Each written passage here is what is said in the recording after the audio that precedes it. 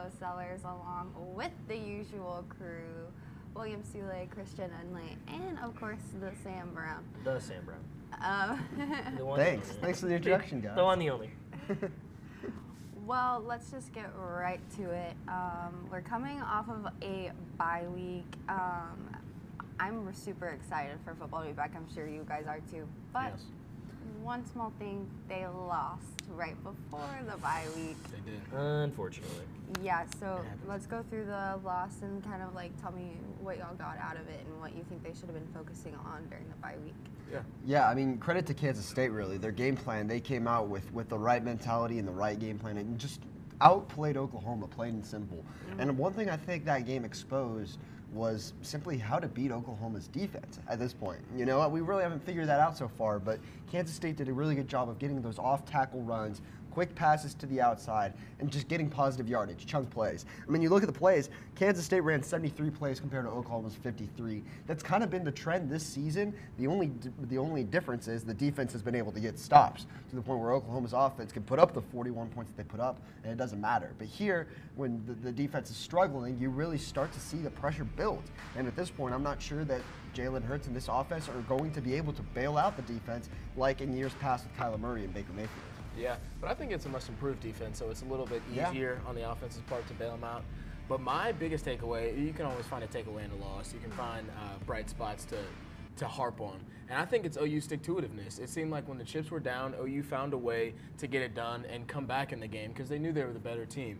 But I mean, you said it. The time of possession, uh, you said it through the plays. The time of possession was ridiculous. But OU stick to itiveness throughout it was so impressive to watch. There was three straight drives when the Sooners needed it most in the fourth quarter, ended in points, uh, two touchdowns and a Gabe Brkic kick, who played phenomenally Yes. by the way. in. Gabe Yeah, Burkett. for Oklahoma, Best kicker in. America? Lou Groza award, Move baby? over, Dicker the kicker. Yeah, they we scored- got Burkett. oh my goodness. Big Burkett, Johnny. They scored eight, 18 unanswered points. I mean, we said earlier in the season how we were unsure whether or not Jalen Hurts would be able to um, conjure up this offense in times when they needed it. Um, but I feel like he was able to do that, and we saw him really lead the offense and score points when they needed it most. So I, I, I really like their their drive when they when the going got tough. Yeah, I mean, we I talked about in, in the preview to the Kansas State game, um, like this was going to be a game that Oklahoma was going to get hit in the mouth, Yeah, Yeah. and were they going to be able to respond? That they did. They responded. I mean, they lost, and but like they, I mean, they got knocked down. They got punched in the mouth, and like this this happens every year with Oklahoma. Uh, it, it's kind of becoming it- it's unfortunately becoming a bit of a, like a Clemsoning thing, like Oklahoma like losing to a team they're not supposed to. Um, but I, I agree with you. I think they're like the way they responded. Obviously, they didn't get the win, and like to Sam, to a point you made earlier, like I talked about like in the first show that we ever did. Like I didn't think Jalen Hurts was capable of carrying this team in the way that Kyler Murray and the way that Baker Mayfield have in the past. If this defense doesn't step up, and I think we saw that against Kansas State. The worst part of the defense for me uh, was easily the linebacking crew, and one of the things that Alex Grinch has tried to let this team do on defense is play more instinctively not have to worry about as much schematics and like things that they need to be doing. Rather, just kind of let them go to the ball, like do what you got to do, like be be speed deep. And they just were not like with that. There comes drawbacks. Like without having those schemes, if you're not if your instincts aren't right, then like if K State, one of the things they were able to do so incredibly well was trick this uh, Oklahoma defense, especially Kenneth Murray and those linebackers, into not like not filling the right gap assignments, not keying on the right people, and that led to what was 213 yards on the ground for K State. Like 4.7 yards per carry, and you, you said it. Like they don't get to time of possession with 38 minutes unless they're effectively running the football. Yeah. Yeah. And it was kind of the perfect storm, to be honest. When you think about it after the game, I think we were all kind of sitting around and thinking about it. And Oklahoma won't play that bad of a game the rest of the season. And I also, th- I also feel like Kansas State won't play that good of a game the rest of the season. No. Things just all kind of climaxed. You know, it's homecoming weekend. Kansas State looking to get a big win, and that's just the way things planned out. And yeah, Oklahoma did get punched in the mouth, but they're in the same spot that they were last year and the year before that. Mm. They just got to win out, let the chips fall where they may. Yeah, and we'll talk about college football playoff rankings. Obviously, came out on Tuesday, and like Yeah. how the Sooners fit into all that. Yeah, I'm just wild. interested to see. We I think Sooner Nation in general was excited about this defense up to mm-hmm. this point this year. Like they, they won the Texas game. Like they, they have played well all year, and then that just evas- evap- evaporated. If, I I wanted to say eviscerated and He evaporated. at the eva- same time. evaporated. It works. Evaporated. You know what I mean. Yeah. Evaporate. They, they, that, this was a Mike Stoops. It was like I saw somebody tweet that uh, Alex Grinch dressed up as Mike Stoops for Halloween, Yeah. which was Too soon. uh, it just PTSD. Quality, hurt. tweet, it was- quality, quality tweet though. That is was hurtful. That's a good tweet. although, you know, like and retweet. yeah. like and subscribe. But it's- Yeah. But it, I hope to see this team go back to the defense that they had before. Yeah, you mentioned the linebackers out of position all the time, and it was something I, I noticed as well. They were missing their gap assignments left and right, and it was you could see the, them gashing runs when Kenneth Murray was out of position. So that's what happens. Well, who better um, to sum up the K State loss and the reaction than the Sooners themselves? So, you know, we all could have did something better to affect the outcome of that game. Like I said, I just think we're, we're, we're trying to take the right approach of it, um, controlling what we can control, working hard every day, um, talk about having the right intent, um, and just learning from everything and moving forward. You know, the, the, the story uh, of, of our season has been getting off the field on third downs and the failure to get takeaways.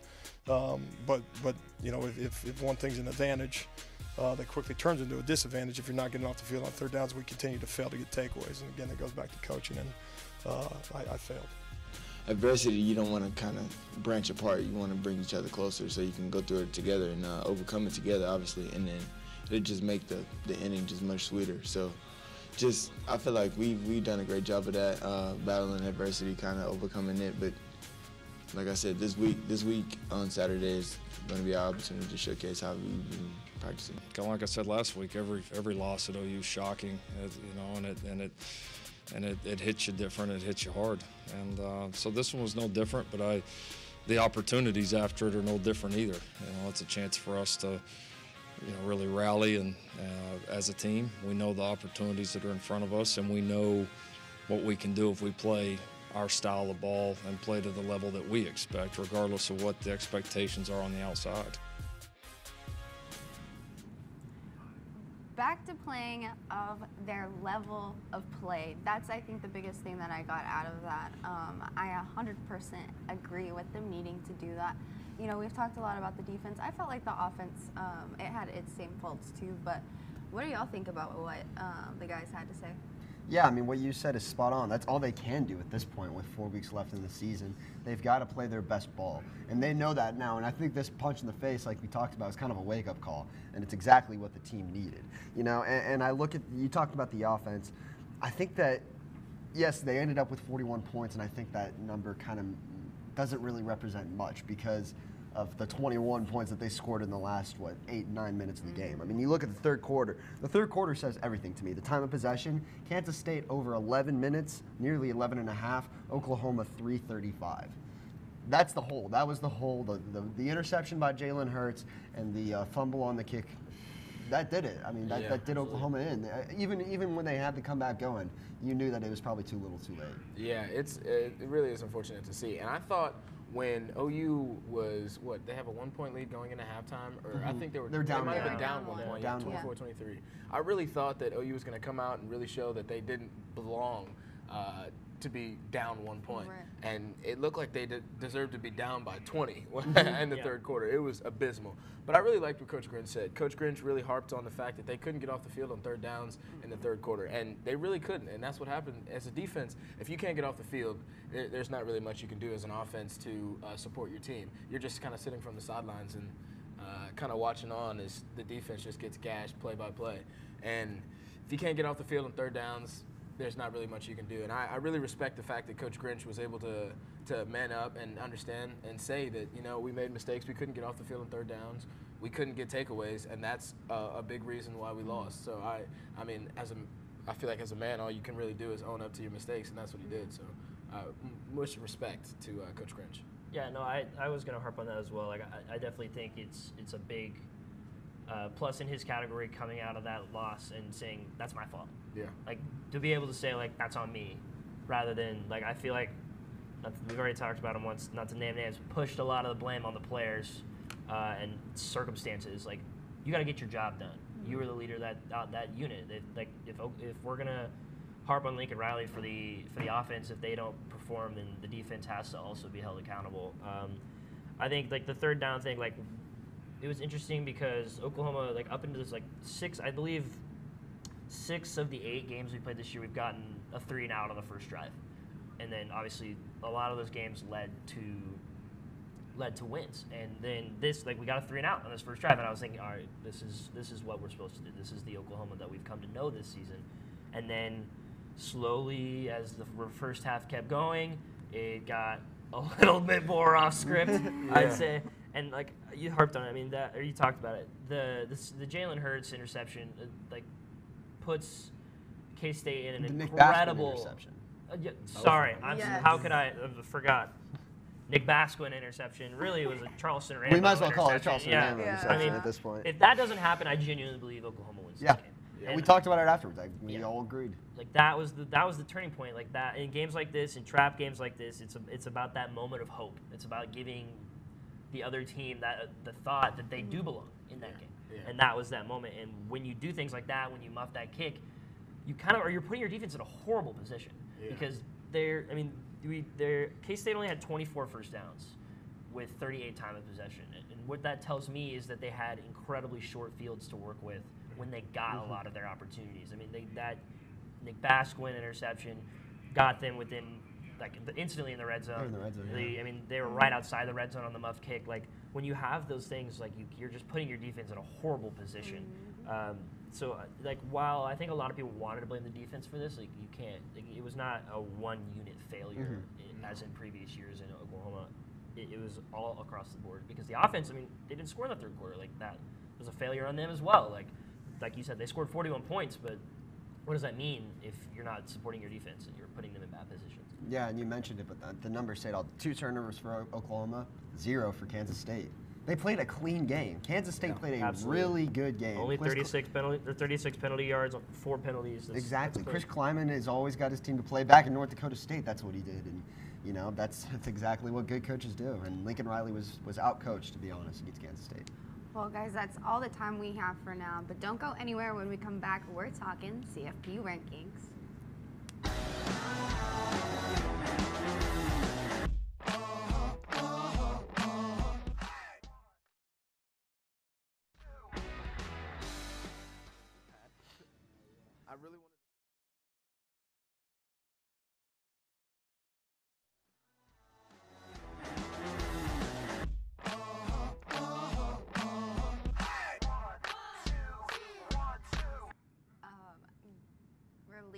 Rankings on Tuesday. They did. Mhm.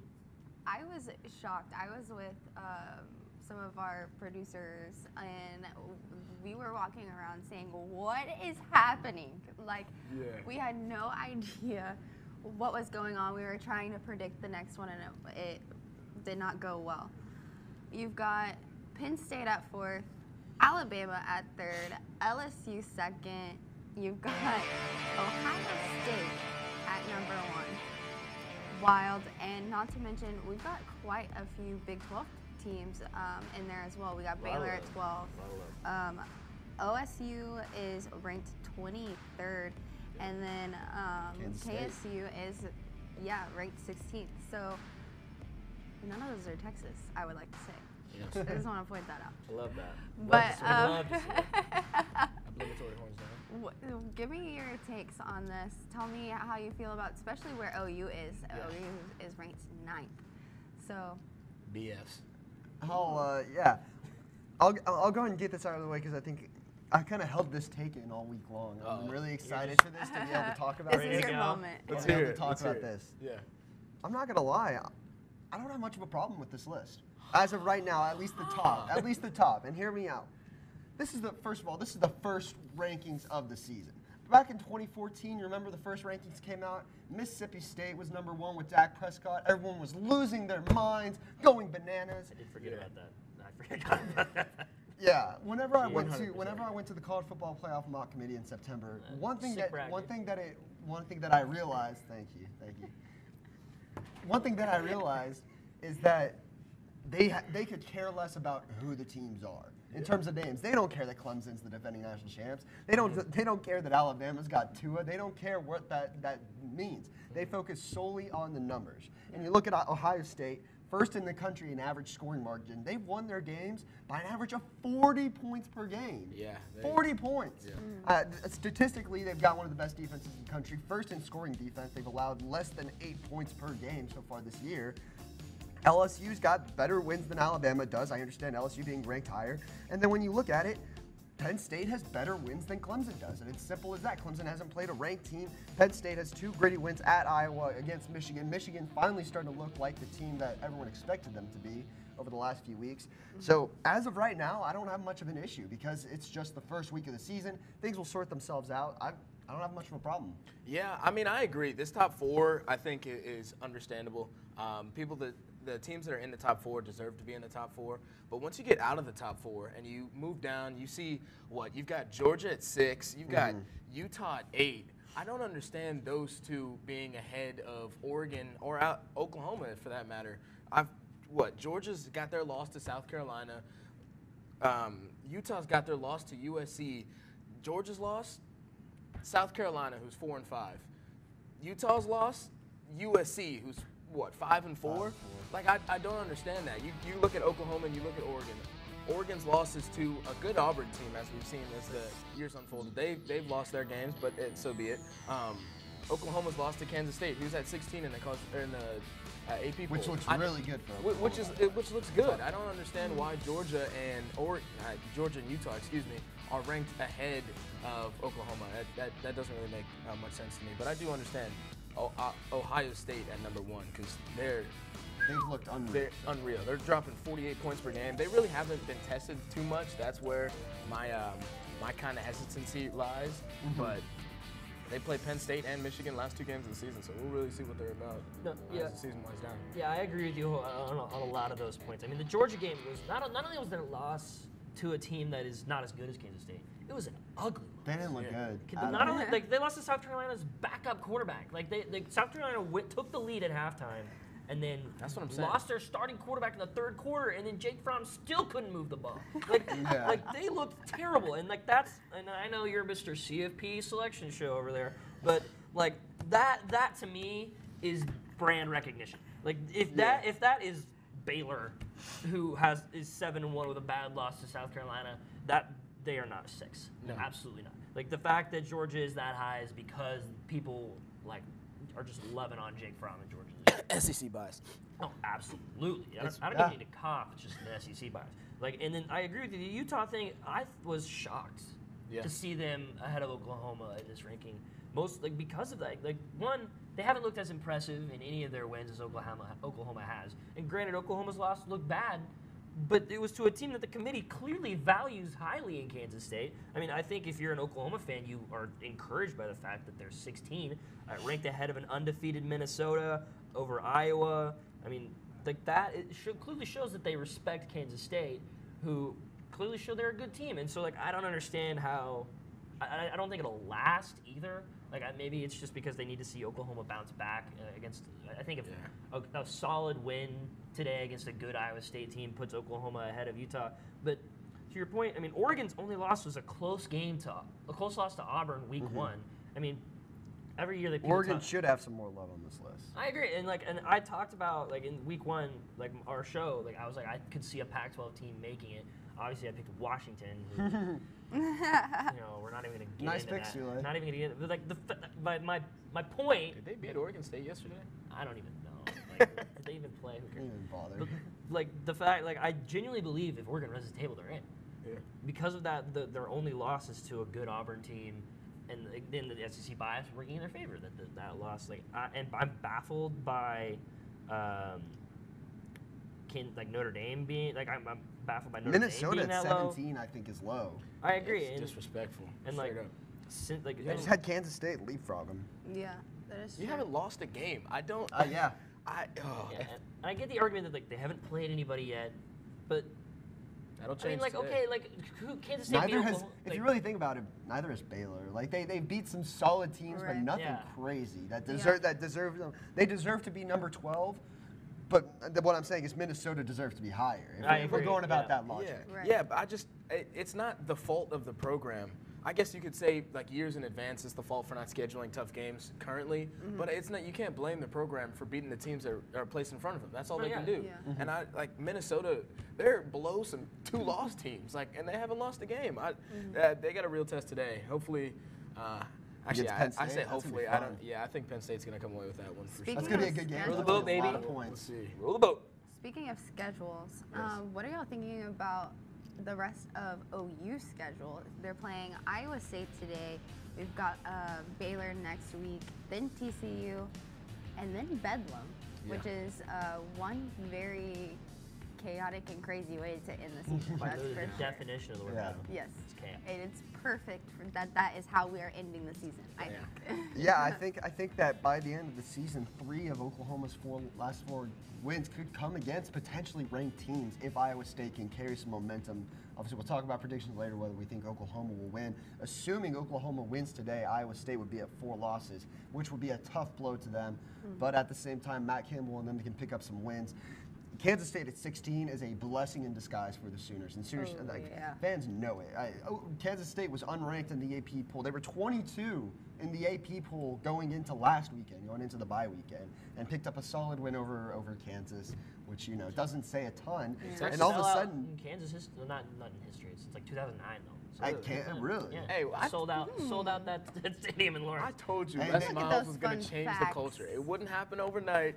Sellout game. They- you were Well, I'll talking say that they were this. gonna I like didn't say- challenge for the Big 12 title, and I was Not like, once. let's calm down. I'll say I'll Hey, say watch the this. tape. I'll say this. We were in Lawrence. Roll the tape. They were close to they were close to selling out that Kansas stadium, but it wasn't because of the Kansas fans. Let me tell you that. We were there, and y'all know it. That's fair. But no, I think I think that sh- things are kind of shaping themselves up for Oklahoma. I think this will, even if they're at nine, this will be tougher than the years past to climb out of that hole because of the teams that are in front of them. Two Big Ten teams, three SEC teams, two Pac-12 teams, and Clemson. That's that's the biggest challenge for Oklahoma right now. But their work is cut out for them. Yeah, and I, this couldn't have shaped up to be a better end of the season for Oklahoma. It, it, you need to play tough teams once you get a loss this late in the season, and now that they have, they've got the opportunity to really uh, improve their resume against some some some top 25 teams. Oh, yeah, and I agree. And uh, I'm interested in putting having uh, the CFP putting Oklahoma State in. I think is really indicative of their respect for the Big 12, which is again good for Oklahoma. I mean, there the, there are quite a few quality three-loss teams. Like, Oklahoma State is the only three-loss team to make the ranking. Uh, I mean, Texas three-loss team that didn't make the ranking. I just kind of wanted to throw that out there, contrary to my point about the Big 12. But you know, it's not beside the point. Arizona State, Texas A&M, Missouri. Like, there's quality three-loss teams, and the fact that Oklahoma State, who really doesn't have a quality win up to this point, but like clearly the CFP committee like respects them. I think is good for Oklahoma going forward. Uh, but I, I just don't have a lot of confidence in Oklahoma's ability to climb just because there's there's a there's so much chaos that's gonna to happen, and I just I can't really see it happening. It's championship November. Who knows what could happen? I mean, you never know. We've, like you said, the, Oklahoma's been in this position before. Yeah. And it's happened over and over and over again. But I think this Oregon team is really solid and easily the biggest threat to Oklahoma's college football playoff like hopes. If, if Oregon runs the table, wins a Pac-12, which I think could easily be done, um, they're like, and you, you imagine winner of the Big Ten, obviously, if it's Ohio State, Penn State, or one of those two is getting in. But like, there's a lot of lot of barriers between Oklahoma and a playoff right now. Speaking of the Pac-12, if you look, Utah and Oregon, seven and eight. Those are the only two Pac-12 teams in the top 25. So. Well, that's all the time we have for us here right now. We're going to toss it back to Meredith and the in studio team for the next big Heroes and Zeros.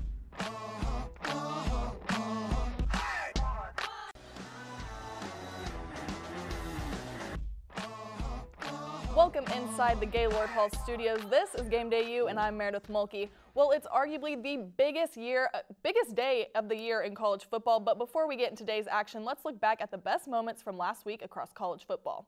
Here's Parker Thune with your top five plays. League action, Dartmouth and Harvard. Big Green trailing by three. Time for one final play. Derek Kyler lofts it up to the end zone, and the Hail Mary is answered.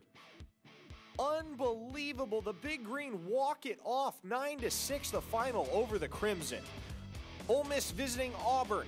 Tigers trying to punch it in from a yard out. Here's DJ Williams, and he gets an assist from Prince Tega Wanogho.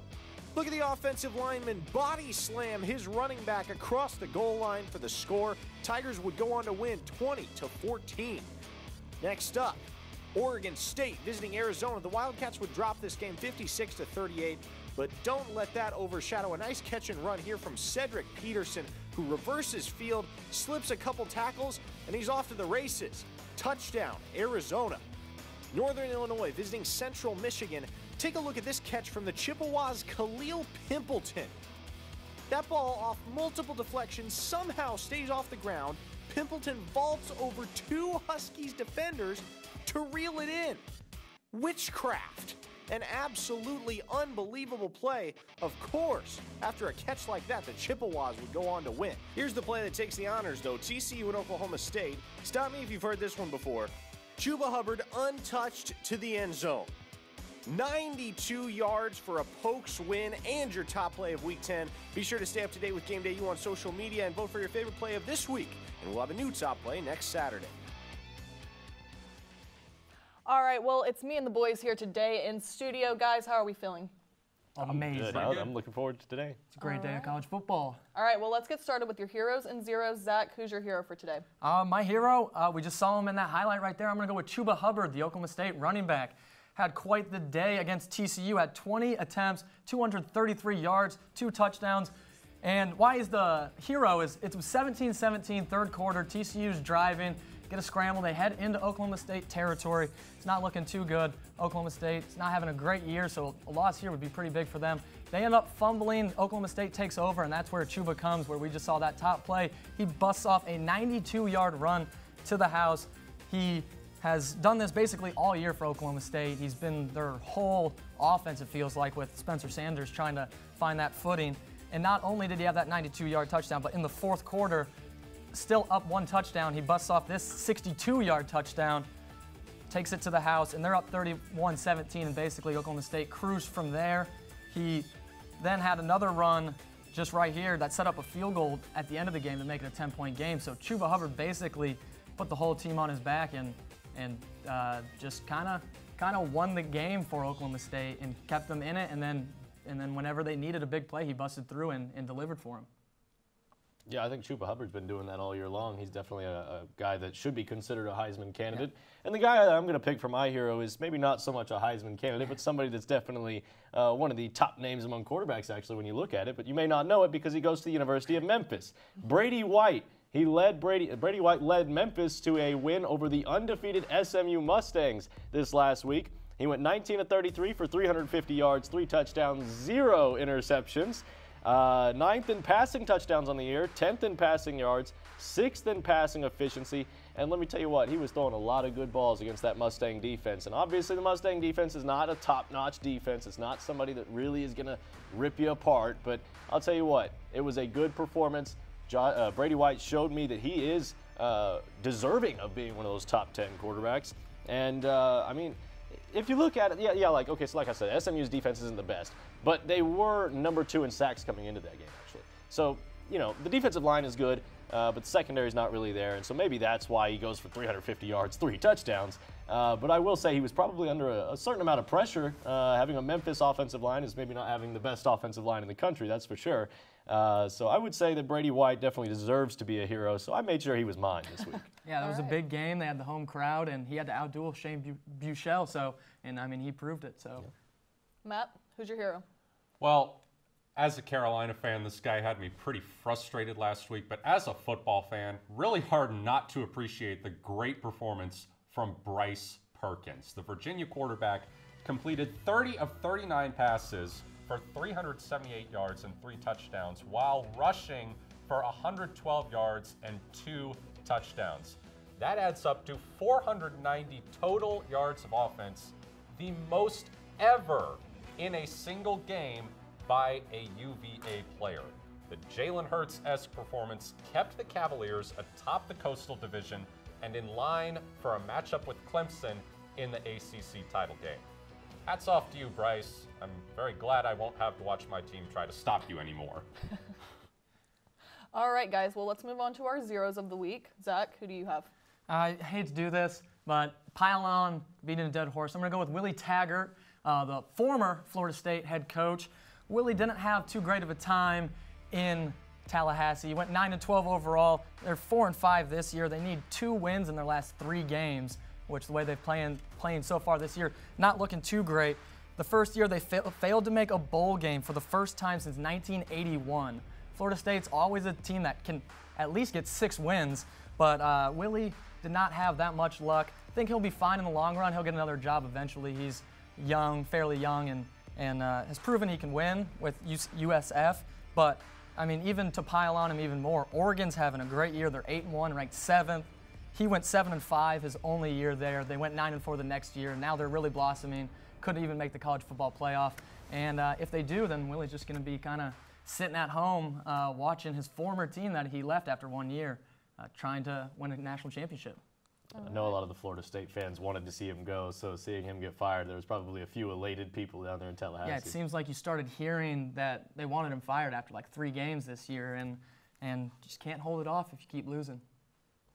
All right, Dylan. Well, I'm going to take uh, Jafar Armstrong from Notre Dame, the running back who had to switch positions. He was a wide receiver as a freshman, and as a sophomore, he kind of did kind of both, pulled double duty, was a wide receiver and a running back. But on this play, you're going to see him as a running back fumble the ball right there on the goal line, and look at Virginia Tech take that one all the way back to the house. Virginia Tech ended up losing this game by just one point to Notre Dame, and a lot of that uh, that closeness of the game ended up being because of Jafar Armstrong's poor performance as a running back. It was 19 carries, 37 yards, and then that fumble on the game today, or, or in last week.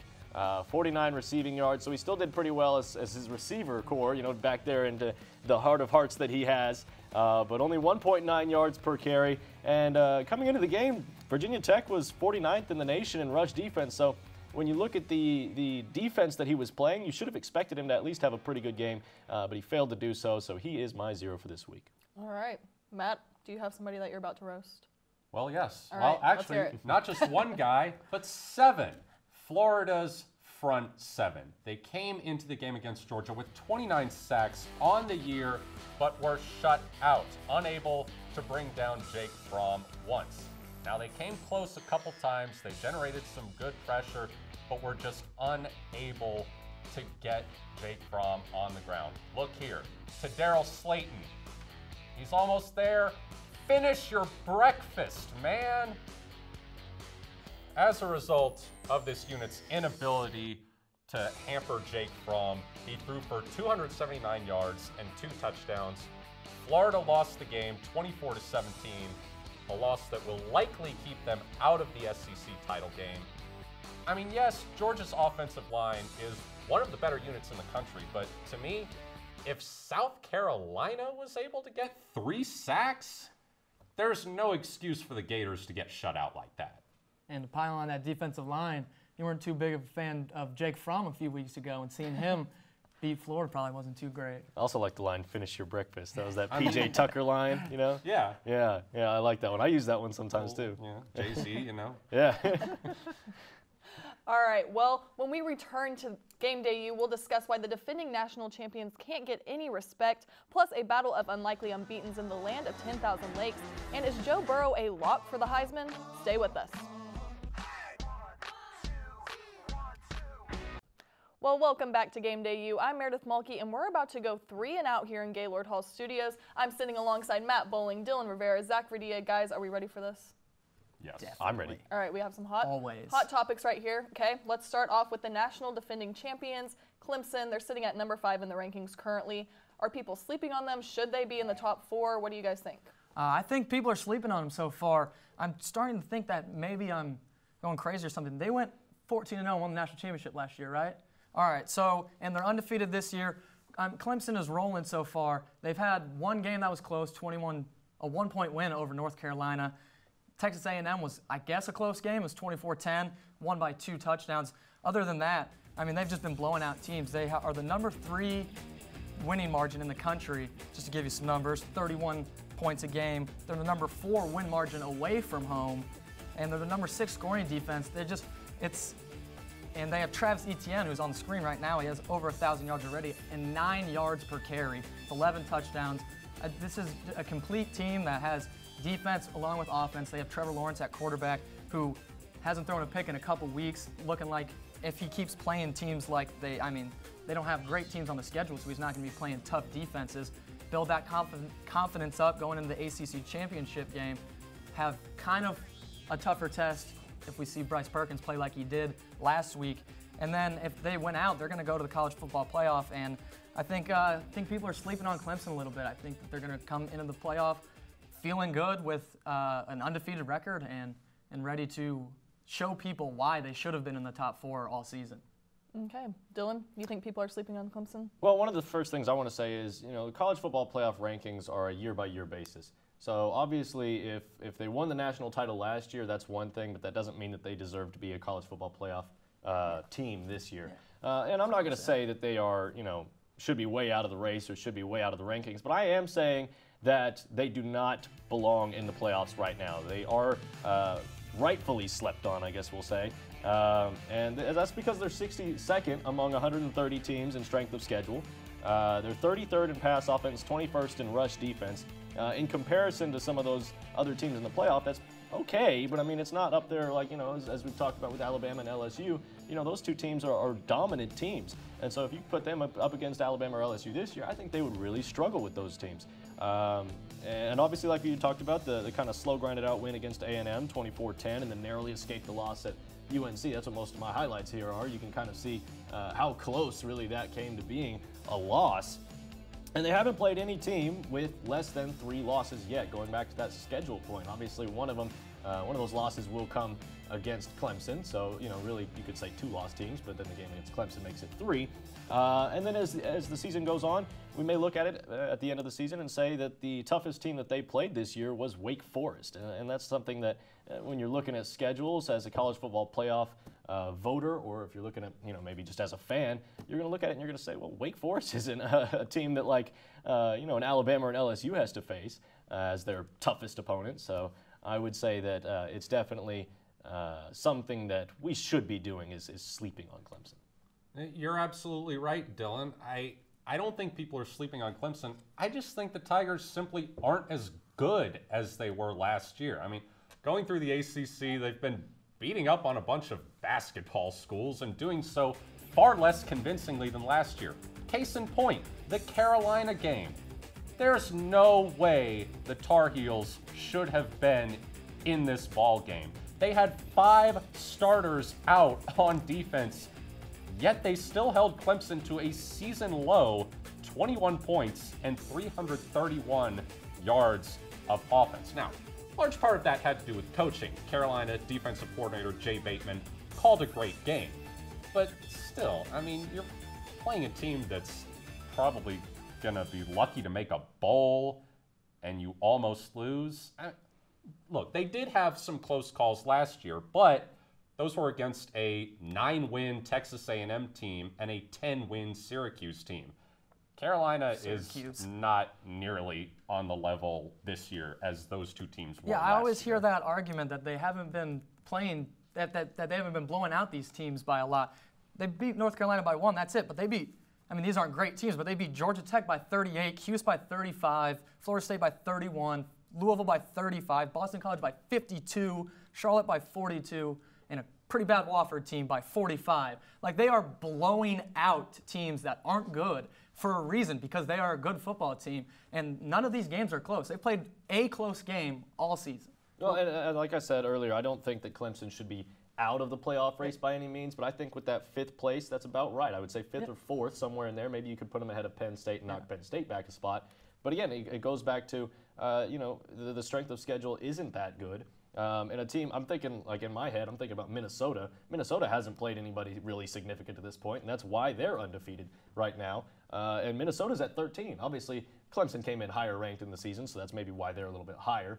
But and, and when I you compare it, it's, team, it's, yeah. kind of apples to apples On almost paper. rather than apples to oranges. You know, they've got both you know a bad schedule, and that's why they're undefeated right now. Uh, and so I would say that you know Clemson shouldn't be in that playoff race right at this moment. And consider this. You know, you were you were talking about yes, they're blowing these teams out, but this time last year, Clemson had scored over 60 points twice. They have yet to do so this season. If we can't talk about last year for Clemson going 14 0 winning the national championship, then we can't talk about how many points they scored last That's year. a fair It's the new year, and they're blowing teams out. They are, but the, and like I said, just to me, it's just not as impressive, not as convincing as last year. You know, again, yeah, I think they're going to make the playoff. They should make the playoff if they finish undefeated, but I think it's more. I think their trip to the playoff is more likely to end the way it did two years ago than the way it did last year. All right, well, let's talk two teams that Dylan just mentioned Penn State and Minnesota, both undefeated. Penn State sitting at number four, Minnesota at 17. Are these actual playoff contenders? What do you guys think? Yeah, I think I might be alone on this one. I'm not sure yet, but uh, I'm going to go with yes. I think that that uh, they either of these teams has a chance to make the college football playoff. Obviously, Penn, the committee thinks Penn State is a good enough team, a strong enough team to make the playoff. They're ranked four right now, and they have Indiana. They have a really tough game against Ohio State and then Rutgers, but they have a fairly easier path than Minnesota does. Minnesota's got to get through Penn State today, still play Iowa, Northwestern, and Wisconsin, not even to mention if they make the Big Ten championship game. But I think that they've shown that this is like a this is a different Minnesota team. PJ Fleck came, has come in and it's starting to turn around. They're undefeated right now, and uh, Tanner Morgan's playing pretty well, especially in Big Ten play. He only has two interceptions. He only has four on interceptions on the season, but only has two in Big Ten play so far, and 12 touchdowns. They have a great run game with Rodney Smith. They have a belldozer type in Seth Green, and, uh, and then I think Penn State has Sean Clifford's been playing a lot better. I know last time I was on the show, I he felt like he was more dink and dump, not really playing too well. But um, last game, he showed that he can throw it a little bit. He's got 20 touchdowns on the season, only three picks, so he's an efficient quarterback. And I think that if either of these teams can get past Ohio State, then they can definitely grind it out and get to the college football playoff. All right, Dylan, what do you think? Well, I'm saying no from you know from a standpoint of both teams. I do think I should you know maybe have put an asterisk next to my no and said, well, if Penn State wins, I think they might be a contender. But overall, I'm saying no. I don't think either one of them is going to be a real contender this year. Uh, I mean, you, you look at the numbers. Minnesota is top 10 in pass yards allowed and passing efficiency defense. They do a great job of, of guarding the pass. They do a great job of making it tough on quarterbacks in your passing game. But that's not going to be enough to, to really put you into that college football playoff conversation. I don't think that's going to be enough to really beat uh, a team like Penn State or a beat a team like Ohio State in any way, shape, or form. Uh, and then obviously, like I mentioned earlier, that that schedule. Uh, you know, we look at how who they played up to this point. The only wins against five, above 500 teams are South Dakota State, Georgia Southern, and Illinois. Illinois only one game above 500. So it's you're looking at those numbers, you're looking at those stats, you're thinking, well, why is Minnesota even that high? If, if you ask me, I don't think they should be. And then Penn State has narrowly beaten Pitt, as you've seen in these highlights.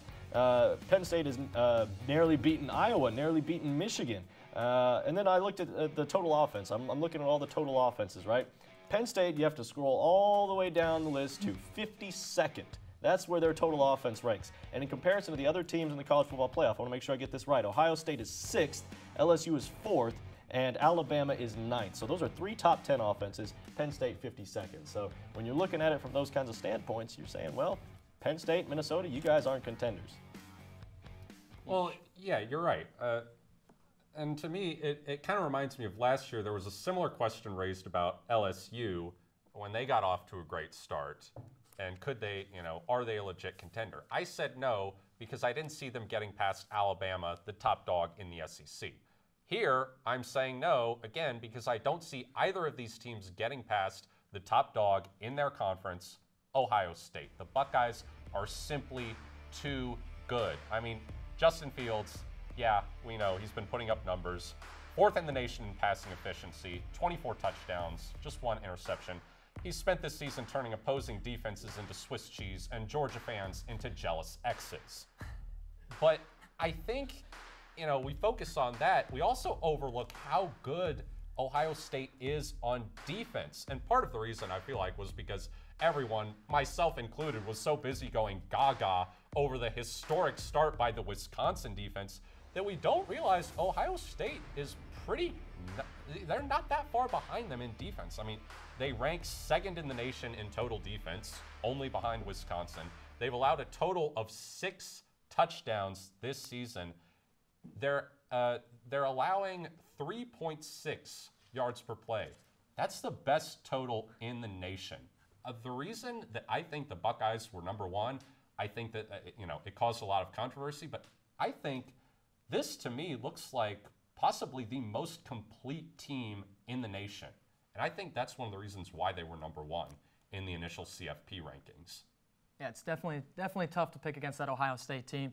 Just hoping for maybe uh, maybe an upset in that Big Ten championship game. Well, I think That's it kind of depends on your definition of a contender as Yeah. well. I mean, if we're talking college football playoffs, that's one thing. If we're talking about Big Ten, that's another thing because you know obviously they'll one of those teams I think will really uh, give Ohio State at least a run for its money. Um, you know, but uh, make them work hard. But at the end of the day, you're right. I think Ohio State comes away with that conference, but. You know, Penn State still has the opportunity to be somebody who could come into the college football playoff picture and maybe mess some things up, shake it up a little bit. All right, let's talk Heisman. It's coming up very close. Let's look at the top contenders currently. We have Joe Burrow, LSU, Jalen Hurts of OU, and Chase Young. Let's say, um, is Joe Burrow, you know, the top contender right now for you guys, or do you think it's going to be Jalen? Is it Chase Young? Is it somebody else that's not currently in the top three? Who do you guys have? Well, I'm going to have to go outside the top three. I'm going to take the field. Uh, there's, it's, there's only four games left, so it's not super early or anything, but I just feel like there's a lot that can happen in the last few weeks. We've seen it uh, back with Kyler and Baker kind of making late season pushes. But pick Jalen, uh, pick Justin Fields earlier in the season. Uh, he has the, the touchdown numbers 33 touchdowns, only one interception, and he's got a couple big games, Penn State and Michigan, but he needs to get those yards up. Uh, he's only at about 2,000 total yards, which is well below everyone else. And I think if Tua Tagovailoa can come back, he's got 29 touchdowns and two picks, and he's missed a game, and he has a big statement game today. And if he wins this game, then he can even knock out Joe Burrow if he has a bad game, and Tua can come for it. And Chase Young, 13 and a half sacks through eight. If he plays again this season, I think that uh, he can come in and keep doing his thing. I mean, 13, I, 13 and a half sacks through eight games is just insane. And then uh, I think Jalen Hurts is definitely, uh, he has the same stats basically that Kyler and Baker had at this point in the season.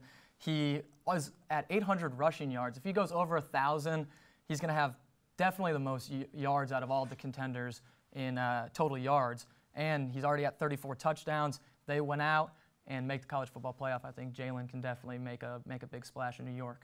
All right, Dylan. Well, first of all, I want to say Chase Young, uh, although he is one of the best defensive linemen in the country, if not the best defensive lineman in the country, I don't know that he, to me, is really that top Heisman contender or really should be in the race per se, because the only guy I can think of on the defensive line that really was up there was Ndamukong Suh, who was the most unblockable player I think I've ever seen uh, in college football. But I'm taking Joe Burrow against the field. I think Joe Burrow should be the Heisman contender. Uh, and there's a little guy named uh, Kyler Murray, I think, who won the Heisman last year.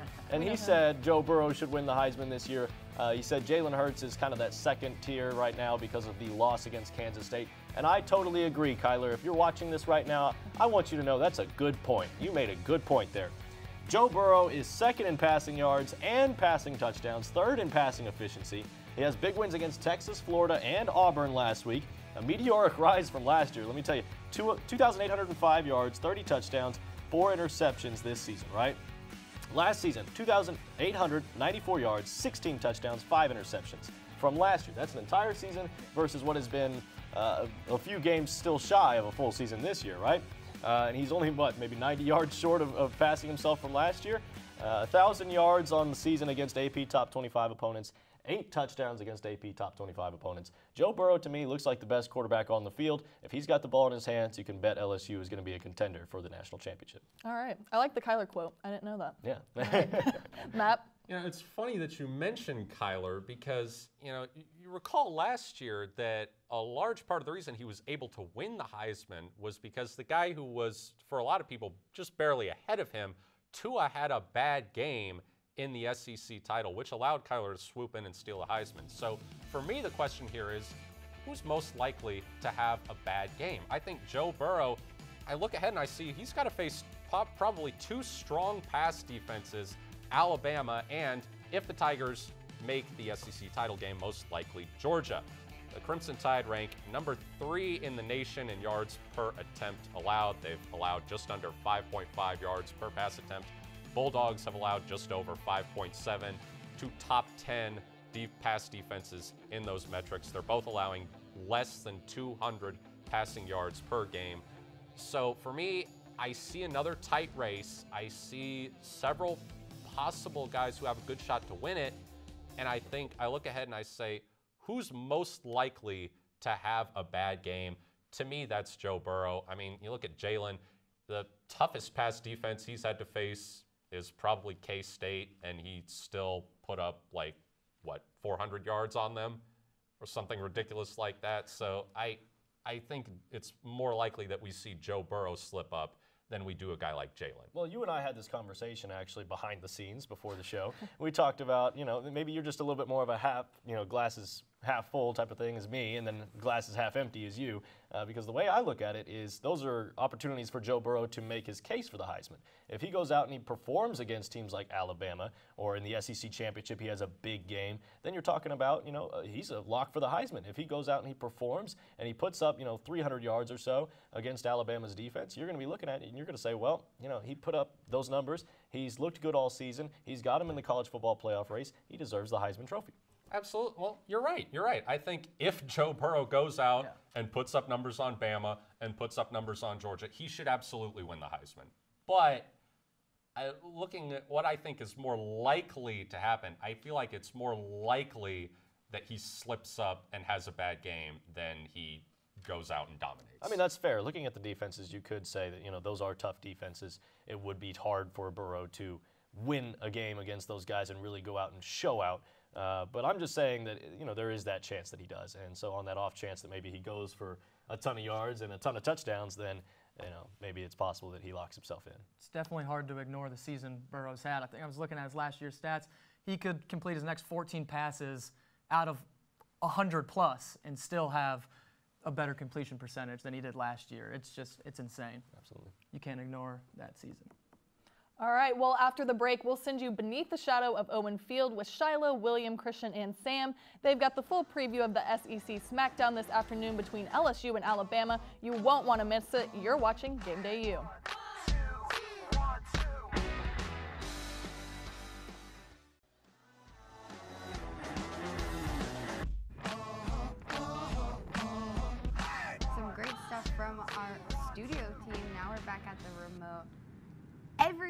talking about this game. Yeah. It's two versus three, As LSU be. and Alabama.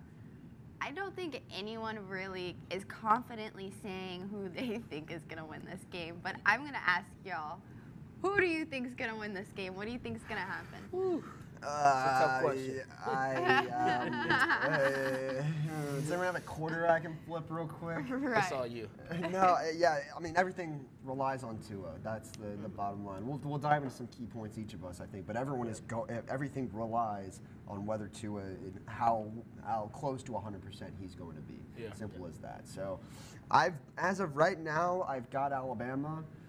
But yeah, it's going to be a toss-up, and it's different from years past because this isn't going to be a game where it's going to be you know 14 to 10, 12 to 6, dirty kind of God, I game. hope not. This is going to be a game that's up in the high 20s, low 30s. Like this is going to be there's going to be some points on that scoreboard today. Yeah, I agree, and it, it it will rely a lot on whether or not Tua is 100% and whether or not he can fully trust uh, his ankle after having surgery. Mhm. It's it's one of those things you kind of have like uh, I wouldn't say post-traumatic stress. But you kind of do have post-traumatic stress, whether or not you can trust that leg to be able to plan on it and make the same plays you typically do. But I think I want LSU to win. But But I- everyone wants LSU. Yeah. I- I- I just think- kind of throw a little wrench in things. yeah, but I, I think uh, it, this will be a battle of coaching, Oh, and I think yeah. uh, I think Saban will come out on top at the end of it. I mean, don't don't respect my man, Coach O. Hey, go Tigers! Go Tigers! Go Tigers! Go Tigers! Run the ball. I love I love Coach O. It's Like I, I, the fact that the spread is six and a half points. We talked about this a little bit off air. Is just boggling my mind. Like I just Yeah. don't. Like, I'm sitting here. I'm like I'm like the Zach like verbal me and Zach Galifianakis trying to figure out the, The math. and the hangover. Like I don't. I have no idea why in the world Alabama is a touchdown favorite as the l- lower ranked opponent. And I get that it's at home and it's Alabama, but I mean, come on. They gotta- six and a half. They got to know something we don't. What exactly. That's what I'm like. What do you know? like, what are the documents? Like, what do you know that I don't know? Like, Did they put a, s- get, did they like, put a robotic, titanium in his yeah, ankle? a robotic play his ankle? This I part. Terminator now. It's gonna be a hopefully an incredible game, no doubt. I don't. So, what are some of your keys for this game? Yeah, I mean, I, there's a lot of a lot of matchups for this game just because there's so much talent across the board. Mm-hmm. One thing I think not a lot of people are talking about, everyone knows about Alabama's passing game, but are they going to be able to run the ball? That's something that's going to be key for me because that's something that they've struggled a little bit with so far this season. 63rd in the country at just under 170 yards per game, and they're going up against an LSU defense that's 13th in the country in terms of rush defense. So there's some talent on that front seven. There's some talent in Alabama's backfield but they just haven't been able to utilize it yet. You know, Najee Harris is, is their key guy. And since Tua's injury, they've thrown the ball 33 times and ran the ball 59 times. That really shows you, the, first of all, the confidence that they have in Mac Jones, and second of all, the emphasis that they're trying to place on the running back game.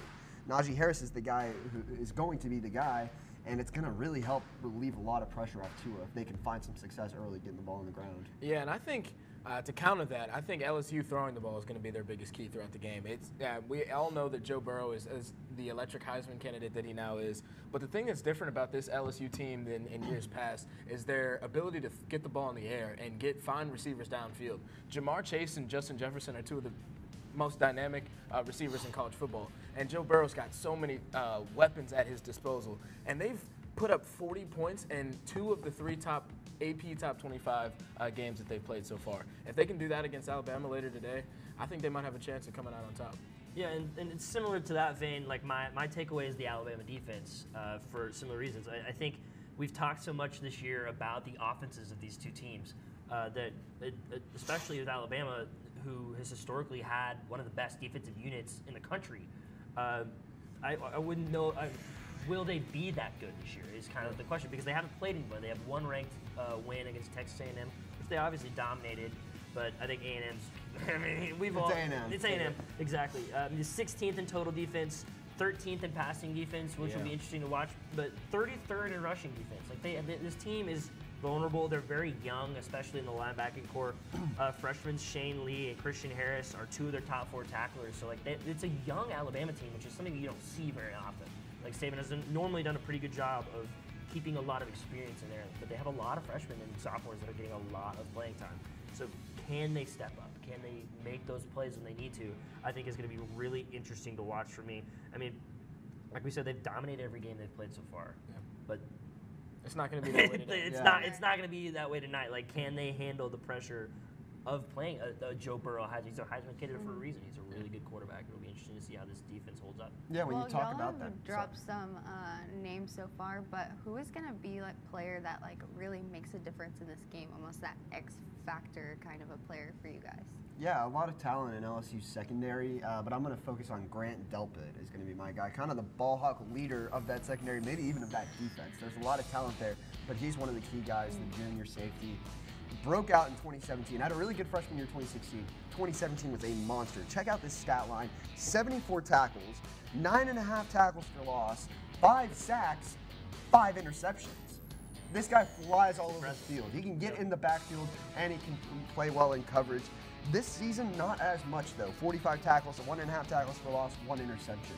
Part of that is because of all the talent they've had on that team. You know, Derek Stingley Jr. is a, an amazing cornerback. Kristian Fulton might be a first round pick this year.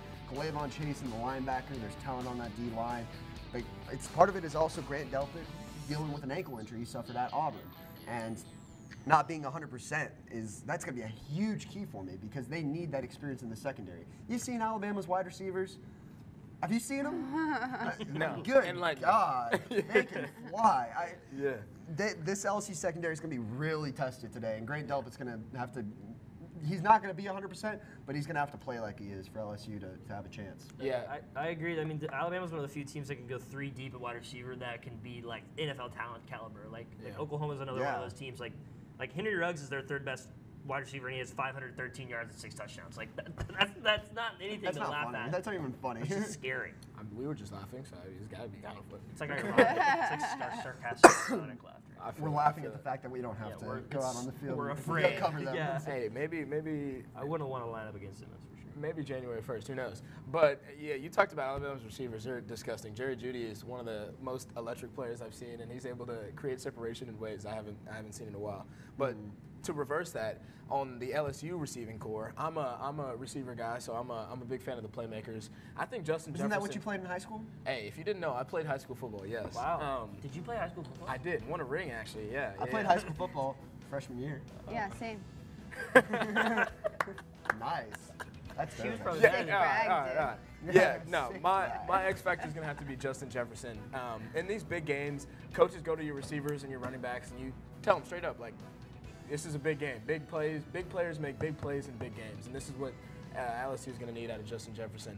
Uh, he's been con- his production in these big games against uh, Florida and Texas kind of slowed down. He did have a good game against Texas, but not in comparison to Ja'Marr Chase. He didn't lead the receivers uh, like he typically does throughout the season. I think he's led the receivers in, in six of the nine games uh, to date. So Justin Jefferson's really going to need to kind of separate himself, get touches early. I understand he's a benefactor of what the quarterback does, but Justin or Justin Burrow, uh, Joe Burrow lives for these big games and these big moments. So he's going to be able to uh, be on the money. So Justin Jefferson's really going to need to create separation, and it's going to be tough. Uh, Alabama's 13th ranked pass defense is is, is nothing to, to joke around with. So um, I think he's going to be the key in LSU getting the win. Yeah, yeah. I, I mean, the, this there's talent, like we said, talent all over the place in this game. Like it's in, the mm. amount of NFL, like per, this is easily the game of the year that's going to be the most, like other than maybe the playoff, most NFL talent on the field at the mm-hmm. same time. Mm-hmm. Like it's it's a lot of to look at. But I mean, if we're talking about the NFL, we're talking about talent. We have to talk mm-hmm. about Tua. Yeah. And Parker kind of made our producer kind of made fun of me because when I wanted to pick my uh, key player, I picked Tua. But I mean, the man is first in total QBR at 95.8, 74% completion rate, only set, getting, being sacked on 3% of dropouts this year, or dropbacks, I'm sorry. Like, he's an incredible talent. That's undeniable. The reason that he is the key to this game is, like we talked about, like you both mentioned earlier, is he fully healthy, both mentally and physically? Like, can he mm-hmm. put it, like, put this ankle injury out of his mind? Because he had mm-hmm. a whole month and a half basically to recover from the last time he hurt. It was his other ankle, granted, but when he hurt his ankle last time and then had a month to recover before he played Oklahoma in the playoff last year. I mean, he came out and looked incredible. Like obviously, Alabama got like that Tua. win. He looked like Yeah. Tua. and He looked like he should be. But he's only had three weeks, a little under three weeks to recover from this one. Um, the, and even even in that game against Oklahoma, he said he was in 100 percent. And I think he's gonna have to be at 100 percent on three weeks recovery time to be like to be the the quarterback Alabama needs him to be because, like we said, like there is the margin of like while Vegas has a six and a half point spread, I I see the game a lot closer than that. Yeah. Like this this is going to be one of those games that's going to come down to the come down to the wire. What's that one play that's going to define something? Like this is going to be one of those games that people look back on. Like I think it like hopefully for all of college football fans, we want this to be an incredibly mm-hmm. hyped game, and like Yeah. they're it just it's just not going to be the same if we have to see Mac Jones out there. Like no offense to Mac Jones, but you All the Well, fans. sort I of. don't- yeah, I don't think- sort I don't think sort of anyone- Sorta, yeah. Sort of offense to A Mac little bit. Jones. I I don't think anyone wants to see Mac Jones as a neutral fan. You know, like I, I, we want to see Tua at his best. I want to see Joe Burrow at his best. I want to see them slinging it around. I mean, it's an over under of 63, which like I don't know the last time I saw an over under 63 between these two teams. I really don't either. So I'm ex- I'm excited, but I, I think the key to Alabama being able to win this game is whether or not Tua is going to be 100. percent Yeah, so like you talked about uh, Alabama, Oklahoma last year.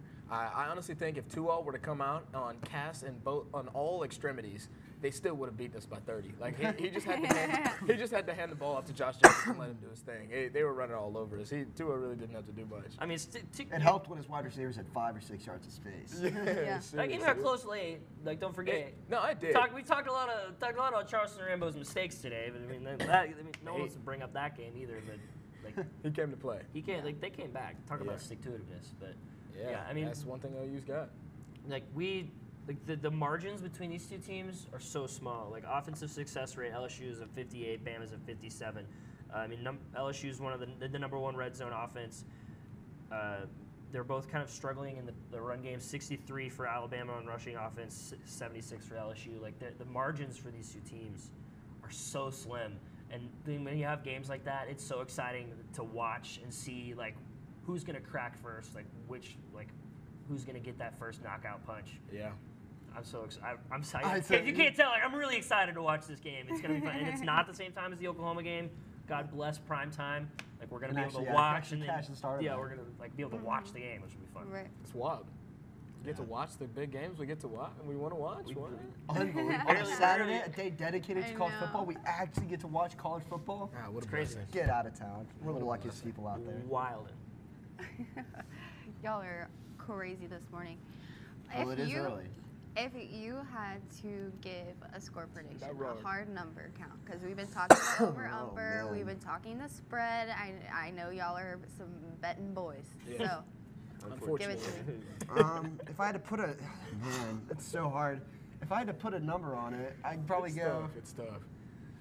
As of right now, like off of instinct, I'd go. I'd go 37-31 Alabama. Ooh, I think okay. this is gonna be a high scoring game. I think this is gonna be different. There's a lot of excitement You're building hitting around the, this. the difference like spot on. Yeah, yeah, yeah. I'm like That's right LSU there. covering the spread. That's how you. That's how it always is. You can never. You can never get cocky about the line, as if they're easily gonna get the line. It's Yeah. never gonna be that way.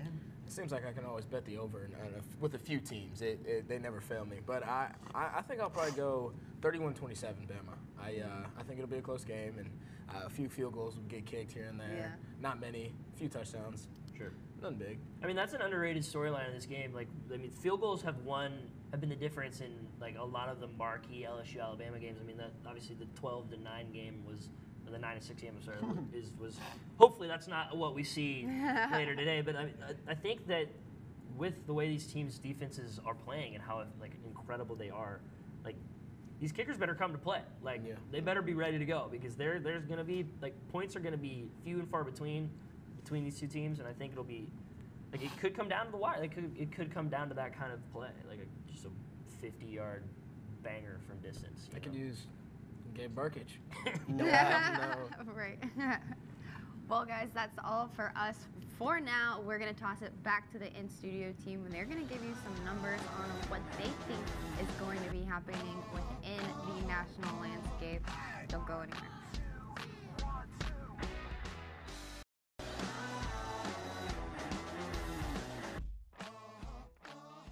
Thanks for joining us this morning on Game Day U. I'm Meredith Mulkey, and coming up in just a bit, our own Parker Thune sits down with Sooner Scoops Eddie Radosevich. But for now, we'll keep it here in the studio with Matt Bowling, Dylan Rivera, and Zach Verdia. Guys, I'm going to give you a few different case scenarios here.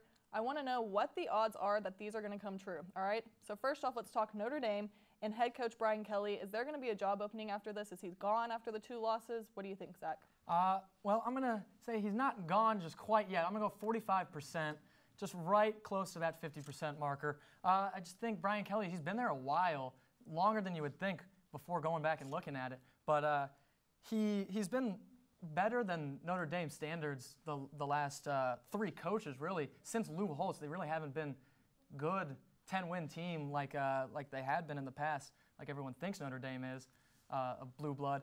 But I mean, Charlie Weis was was pretty bad for him. Had a three and nine season and a couple seven and sixes before they canned him. Tyrone Willingham only lasted three years. Five and seven, six and five got him out. Brian Kelly really hasn't had multiple seasons like they had that got him fired. I mean, even if you go back to 97 to 2000, Bob Davie had two five win seasons that finally got him out. So it feels like you have to have a couple pretty cra- uh, bad seasons for uh, to get fired at Notre Dame. So I'm going to go with 45%. Like he could get fired, but eh, maybe not. Maybe not. Maybe so. All right, Dylan.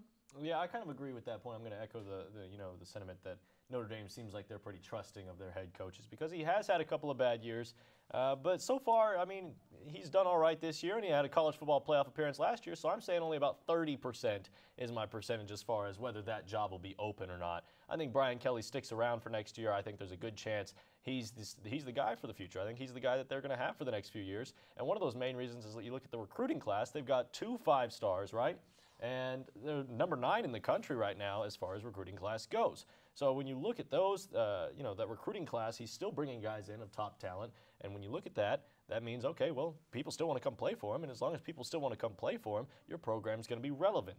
Uh, and then I, I looked at it, you know, uh, from a perspective of if they were to fire him, who would replace him? Obviously, people are going to mention Urban Meyer. That's going to be the one that everybody's going to say. But at the same time, I don't think Urban Meyer's coming back. I don't think he's going to make a return to coaching. I think this time he really is done with coaching. Uh, I, I, look at maybe Chris Petersen at Washington if he wanted to leave his job at Washington. Uh, Mike Norvell from Memphis has had a good season.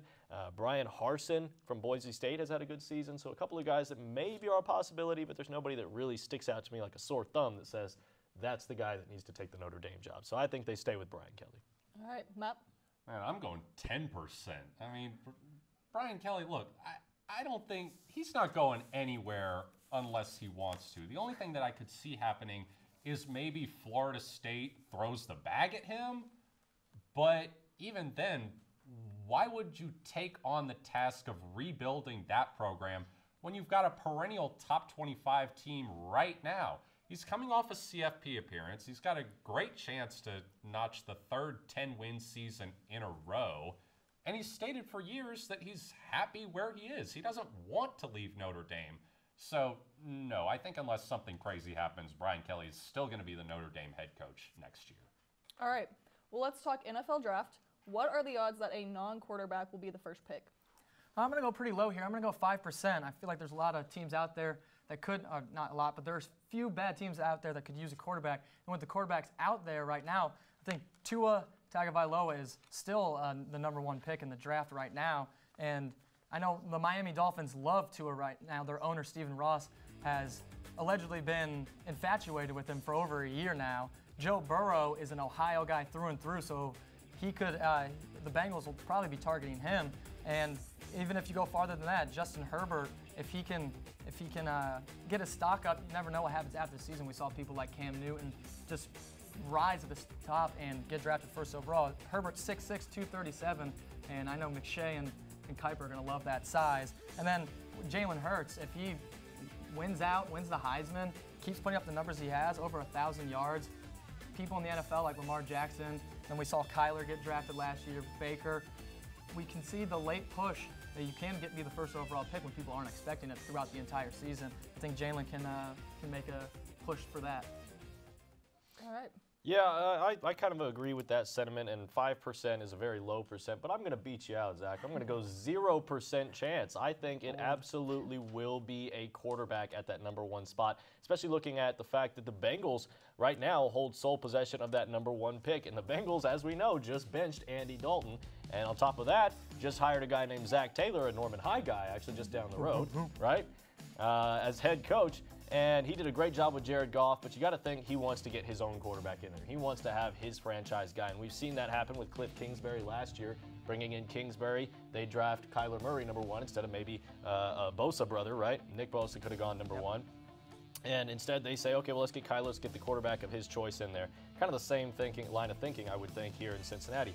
Uh, on top of that, the Dolphins are up there at the number four pick right now. You got to think that maybe they're a possibility. You got to think about other quarterback needy teams that are maybe down the line. Washington, maybe. I mean, obviously they drafted Dwayne Haskins, uh, but their quarterback situation has not been very good. Dwayne Haskins struggled that one game he came out. I think he had three or four interceptions. It was a bad game for him. Obviously, Case Keenum is not the answer.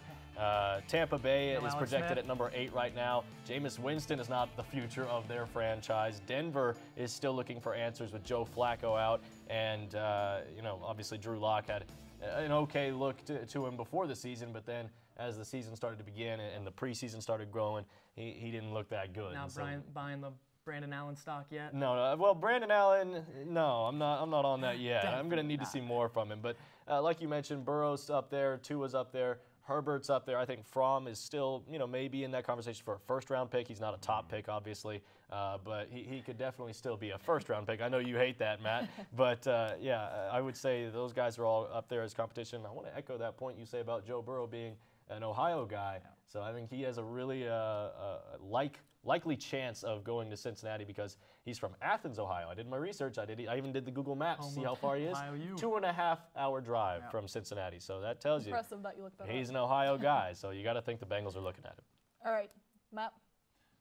I, I see a little bit more possibility here. I'm going to go 33%. I think, you know, like you said, the two teams that are most likely to get the top draft pick Dolphins, Bengals, both of them will probably take a quarterback. It's pretty clear that neither Ryan Fitzpatrick nor Josh Rosen is the long term answer for Miami. Fitzpatrick because he's old and bad, and Rosen because, well, he's just bad. Uh, Cincinnati, meanwhile, it's looking like Andy Dalton's best days are behind him. You see here he throws back to back interceptions He's been benched for Ryan Finley, and unless Ryan Finley turns out to be another Gardner Minshew, I would expect the Bengals to take a quarterback. Now, the reason that I give it about a one in three chance of a non-quarterback going at uh, going number one is because if you look ahead at the rest of the season, there are multiple potential wins on the Dolphins and Bengals schedules. For one thing, they play each other. They play the Browns, they play the Jets. One of those teams, maybe one or both of those teams, maybe rattling off a couple wins, leaves room for a team like the Redskins or perhaps the Jets, both of whom have already taken their quarterbacks of the future, to sneak in and get that number one spot. In which case, they would not go quarterback. All right, well, this is the part that I know you guys have been waiting to talk about NCAA. So let's talk about it. Their fair pay to play has been approved. Likely, we'll be seeing uh, players in the future getting paid for their image, their name, their likeness. Um, what do you guys think about this, and what are the odds that the NCAA video game is coming back? I love this. 90%. I can't. I, I couldn't commit the full 100. I can't not wait for this game to come back. Obviously, that's the first thing that I that even came to mind whenever I heard about this rule. Obviously, the pay for the players is pretty nice, but uh, this video game will is always big. It's kind of been a uh, lifeblood uh, for the last six years. People just playing the old game, downloading the rosters. I think that this can be pretty big for the NCAA, the rule, because I mean we hear a lot about how it kind of feels like it could turn into like a free minor league, a free uh, minor league system for the NFL. When I mean they're already putting their bodies out there for free uh, for almost three, four years. So I think that this uh, this can only help the student athletes going forward, and I think this uh, NCAA game will be back for sure. Yeah, I'm a fan of, of the the Fair Pay to Play Act. I'm a fan of uh, what's going on in college football. Uh, I myself am a player of NCAA football. I still have 14 in my bedroom at my apartment, and I play that from time to time. So I'm saying it's a 99% chance that NCAA football makes its return here pretty soon. I mean, obviously, it's not going to happen immediately. There's still some kinks that have to be worked out, and uh, you know, the, the EA Sports would have to, you know, get all the rights and all of that, and go through all those progressions that you know would have to, you know, come with making a new game. But the way I look at it, and I looked at the numbers. I, am a very statistically driven person, if you haven't noticed. EA Sports made 3.8 billion dollars off of their last game. All right. If they came out with a new one, a return franchise with, with fans from yesteryear and new younger fans nowadays, you got to imagine that's a four to five billion dollar franchise right there. And with EA Sports kind of uh, you know calling it quits on their NBA, you got live games, and obviously Madden isn't doing the best that it could right now. You got to think that EA Sports is saying NCAA football can come back. Yes, please. All right, Matt. Well, I'm only going to go 50 50. Uh, I think, you know, like you said, yeah, you're right. EA Sports, definitely, they should do it. They would have every reason to do it given how great the demand would be. But I think we underestimate a little bit because the lack of a college players union like the NFL has means that they would have to get permission from each individual player to use their name and likeness. That is a logistical nightmare. So, yeah, I mean, yeah, they they could do it. I think I think they should pursue it. It seems like it would be a great business decision. But the logistics and the hurdles, to me, I see how that could really hinder things. Well, and I get that point of things, and, and I wrote that down in my notes that you may say that because I knew you were talking about that the other day. So I was prepared for that point. And here's what I was going to say to that point was if you say EA's got to go around it and, and get permission from every player, I understand that's a big hurdle. That's going to take a long time. You got to think every football roster's got you know 100 guys. It seems like uh, from top to bottom that, that really uh, would be in the game, and you'd have to go and get you know every single one of their you know consent to be in the game, right? But here's the thing: they're going to make money off of that, right? So if I'm making money to be in a video game, what's the negative to that? Why would I not sign on for that? Why would I not give my consent to EA to be in the game? And so if EA's smart about it, they'll go around, they'll probably just, you know, print off 100 different copies of, you know, whatever they need them to sign, and go into the football team, go into the office and say, all right, guys, if you want to be in the game, sign this. If you don't, you don't have to. You can sit in your locker room and be a bum and not be in the game, you know? Yeah, I'm- so I, I like think you it's, said, yeah. yeah. I'm sure that teams have plenty of times where they have to sign. Everyone's got to sign a contract or something. Like, just print out a ton of them, line up, and start signing it. Like, let's go. If, if they're raking in that kind of money, then who's going to say no? Sure. Yeah, but you know, I think we can all agree also this uh, this fair play to fair pay to play act, letting people be compensated for the use of their name, image, and likeness is the right thing to do. Yeah, and I think even outside of football landscape, you know, we're talking about other sports. It doesn't just cover just football, and that's what we always think because it's you know the, the biggest market, and so we're always thinking about you know the football side of things. But really, that goes all the way down to teams like the tennis teams, the golf teams. You know, guys who uh, don't get a lot of coverage, maybe if their likeness is used, they will make some money off of it. And these are just like college football players; they're putting in hours and hours of practice. And yeah, maybe maybe in tennis and golf, you're not putting your body on the line, but you can make some money for all that time that you're spending that maybe you could be using for a part-time job. You know? Yeah. All right. Well, when we come back, Shiloh, William, Christian, and Sam get ready, get you ready for the Oklahoma and Iowa State from the Palace on the Prairie. They've got final words, they've got callouts, and they've got score predictions as Game Day U rolls on.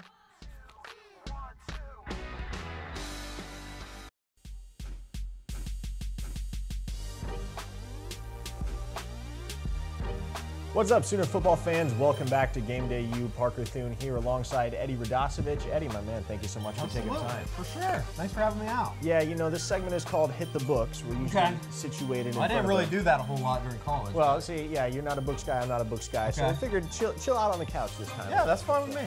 Yeah, first things first, I don't want to improperly credential you, so why don't you go ahead and give us your full list of affiliations? uh, I work for SoonerScoop.com, uh, Rivals Network, and then obviously uh, Franchise Morning Show 107.7 uh, here in Oklahoma City. So statewide operation, but it's a lot of fun.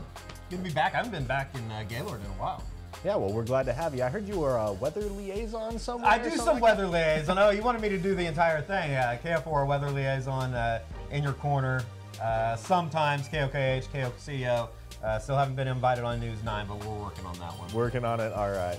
Okay. Well, I want to start with the obvious. Horns up for peas, man. I don't know. I don't know if I can get with you on that. Yeah, I know. There's a lot of people that are still uh, in campus or on campus that uh, didn't really. Uh, some people just don't get it. It's obviously a dig at Texas. Uh, we had a good time with it. It's actually uh, the one year anniversary uh, was yesterday of when we started it. Me and Jason Kersey from the Athletics. So uh, it's been uh, quite the ride. I mean, uh, Game Day picked it up for a little segment a couple weeks ago. It's it's been fun though. I think everybody mostly kind of gets what's going on uh, with the uh, with the intention of it. So uh, the whole thing is just ridiculous. And who knows? I thought they'd get around too, but it doesn't seem like Texas is gonna be back in Arlington unless they run the table. So uh, it will be uh, it'll be interesting, but it's been fun for uh, what it is. Certainly, yeah. Iowa State coming to town this weekend. Obviously, things didn't go so well the last time they were here. So, uh, what, what Yeah. kind of vibes you getting this time around? You know, I, I certainly don't think that this team is, uh, you know, as big of a threat maybe as, as some other teams would have been. Uh, it's kind of a weird spot for OU, obviously coming off of the, the loss in Manhattan, and uh, you know, I, I, I, Iowa State was kind of that sexy team at the beginning of the year, and I never really bought into it, just for the fact that you know you lose Hakeem Butler. I thought he made a lot of plays. Obviously, he had a hell of a game against Oklahoma last year up the Ames. You know, Brock Purdy's just been up and down, and he's been uh, susceptible to turning the ball over, something that Oklahoma hasn't been able to do.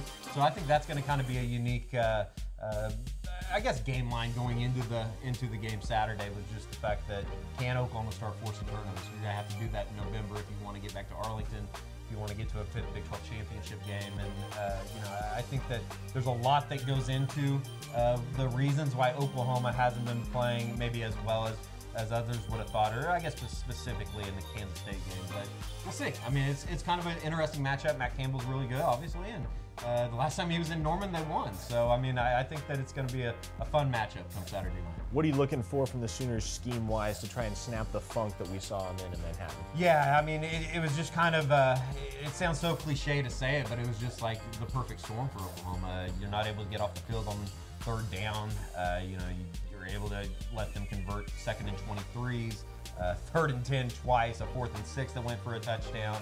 Uh, you lose the turnover battle, and all of that is kind of a summation of, of why they got beat and had to make the, the final ditch effort there in the fourth quarter when you're down by 25. So, uh, you know, they I, I think that we're going to see Oklahoma. They're more of the team that you saw the first seven weeks from what you saw in Manhattan. It was just kind of the perfect storm. Kansas State played the game that you know Kansas State had to play if they were going to beat Oklahoma, and that was controlling the clock, winning the turnover battle, and everything that went into that. So. I think they'll run more than six plays in the third quarter. They'll come this weekend, but uh, you know I think that it will be uh, it should be a good bounce back game for Oklahoma, and then you prepare for kind of what will be a, a true gauntlet as far as having Baylor and then uh, of course having to go to Stillwater the final week of the year. TCU kind of in between. Eddie Radosevich, thank you so much for your time. Appreciate Anytime. you. We'll send you back outside to Shiloh, William, Christian, and Sam, guys. Hey, say it with your chest back there.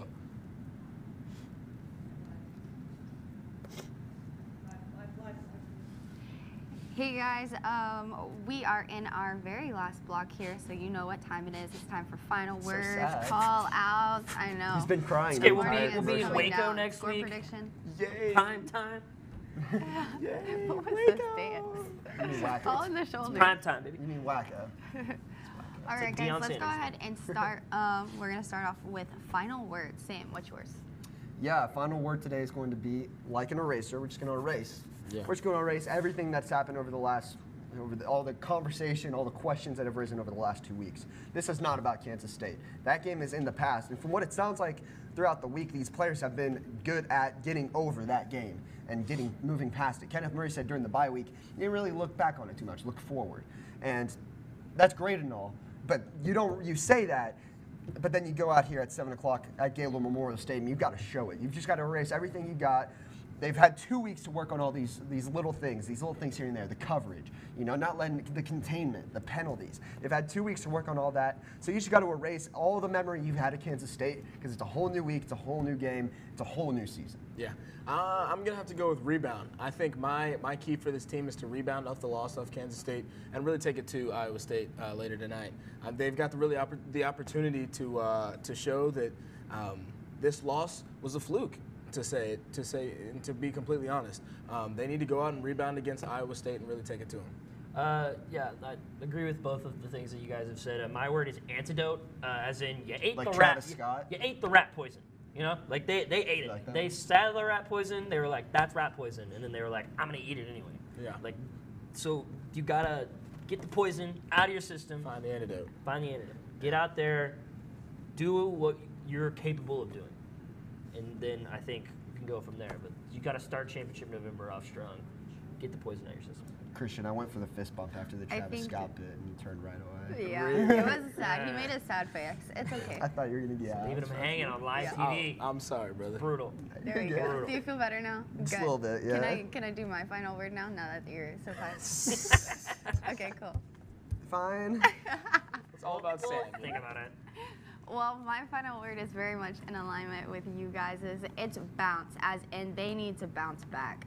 I mean, it's as simple as Christian put it. That it was a fluke loss. Um, a lot of things went into that loss. Home crowd, homecoming. I mean, it was a crazy game for sure. I think that they need to take that, focus on it like they have during the bye week, and now go into Iowa State with a new set of like, this is what we're gonna do, and this is how we're gonna do it. Um, definitely, they need to bounce back and get back to that same level of play that we always expect from the Sooners. Um, we haven't been seeing that as often, and I think they now realize it with that loss, and they're gonna they're gonna whip into shape. I hope so. Yeah. That's need another to. Travis Scott bit, actually. Whip into shape. Whip. Huh. Never mind. So we can do one words and that means trap. That's a song. Never mind. Never mind. Oh, uh, I'm we're just gonna, keep I'm just gonna going. pretend I didn't you say need to you spend some time off Spotify because you're like just popping with all these music references. Everyone, everyone's got their hobbies. I got mine. You know, I can't blame you. I can't blame you. Travis? Kanye. Keep Ooh. going. Well, we're not even gonna get into that. Well, speaking of back. musical call-outs, what's your football call-outs? My football call out. Uh, we've mentioned him several times so far this show, but uh, first time call out on the show, Alex Grinch. Welcome to the call out section.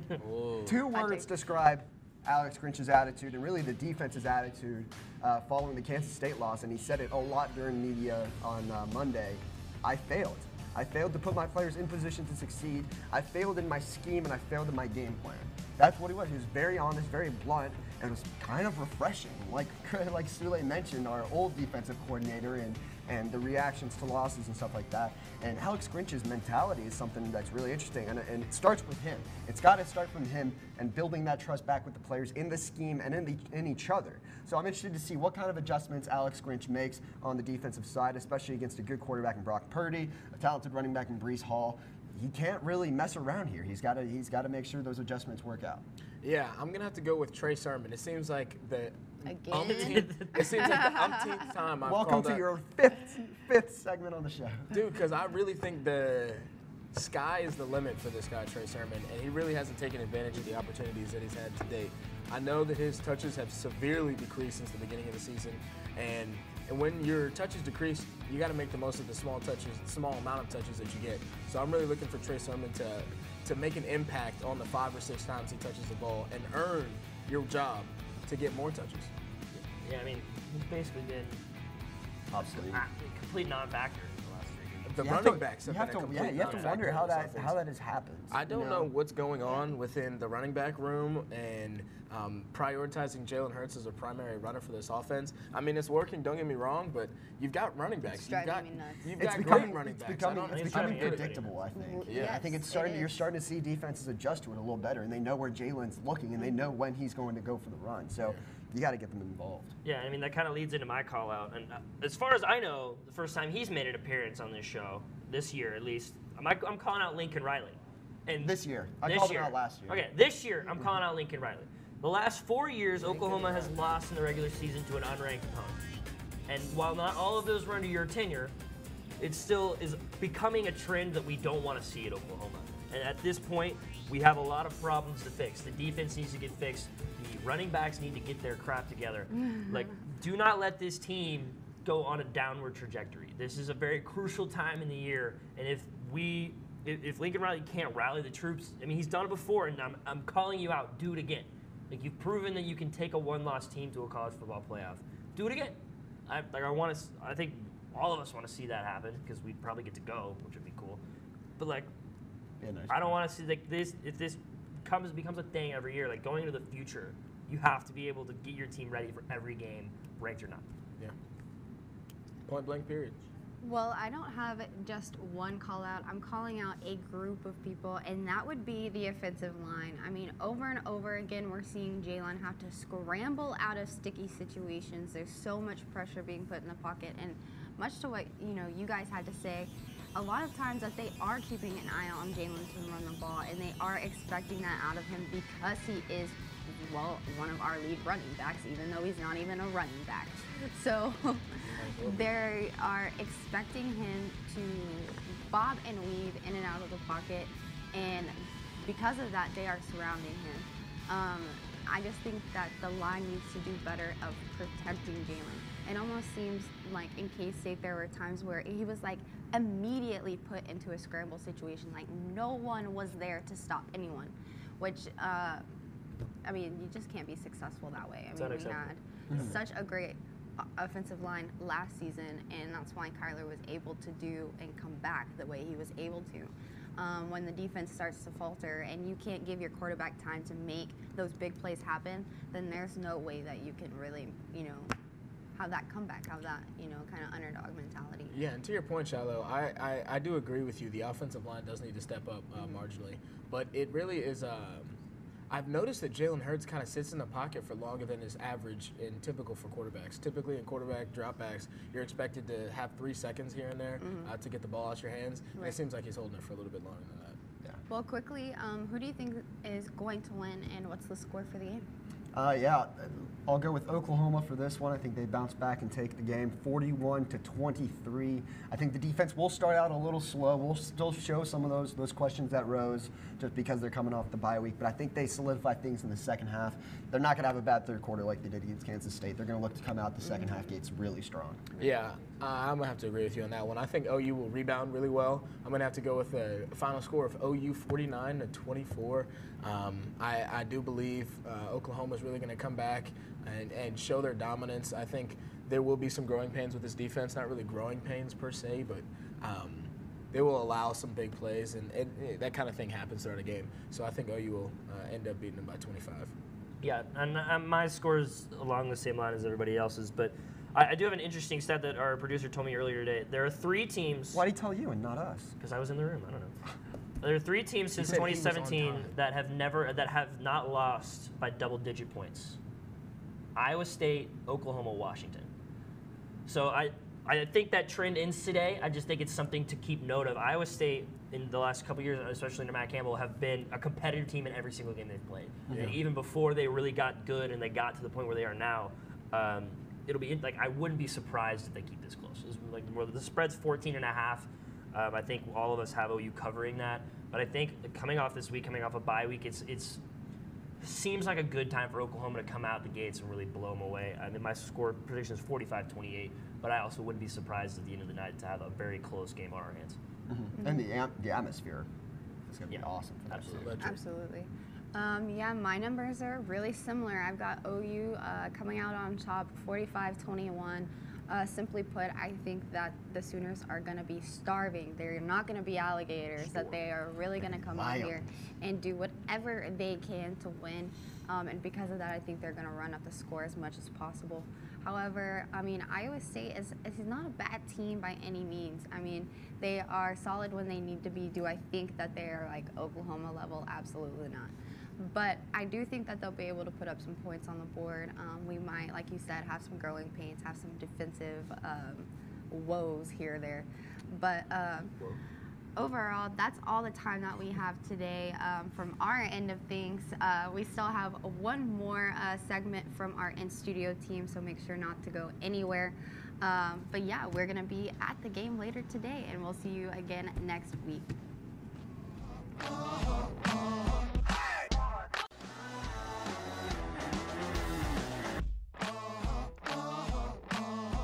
Well, we're here to wrap things up on Game Day U. Meredith Mulkey alongside Matt Bowling, Dylan Rivera, and Zach Verdia. Guys, obviously we've touched on the numerous marquee matchups that are on slate today, but it's decision time. Let's hear your official picks. We're going to start things off with Iowa and Wisconsin, two teams that started hot and have fallen upon hard times lately. It wasn't long ago that the Hawkeyes were 4 0, but their offense struggled mightily in losses to Michigan and Penn State. The next two weeks will define their season. A date with Minnesota is on deck after today's tilt with the Badgers. If Iowa hopes to play for the Big Ten title, both games are must win matchups. Meanwhile, Wisconsin is reeling. An improbable upset loss to Illinois derailed their playoff hopes. And an abject thrashing at the hands of Ohio State effectively ended those hopes. However, a win today would very much keep the Badgers in the running for the Big Ten East crown and a trip to Indianapolis where they just might get a crack at revenge on the Buckeyes. Guys, who gets the win on this one today? Uh, it's probably not too smart to give Wisconsin three straight losses, but I think Iowa's going to pull this one out. They have a great defensive line, only gives up about 88 yards per game, and they're going to have a huge test today, by far the biggest of the season for them and Jonathan Taylor. But Iowa keeps these games close. They, I mean, uh, Dylan already mentioned it earlier when we were talking about if they're a real contender. They lost to Penn State by five, Michigan by seven. They keep, they stay in these games, and they have a defense that can that can keep it low scoring, and that's exactly what they need with their offense. But uh, I think that they can that it'll be close in the fourth quarter, and that Iowa can squeak out another upset, and Wisconsin's just going to plummet down. All right, Dylan, who do you think? Yeah, I think you're right on those two kind of low scoring losses, but at the same time, uh, they, they barely beat out Purdue and barely beat out Northwestern. So I'm taking Wisconsin against the Hawkeyes today.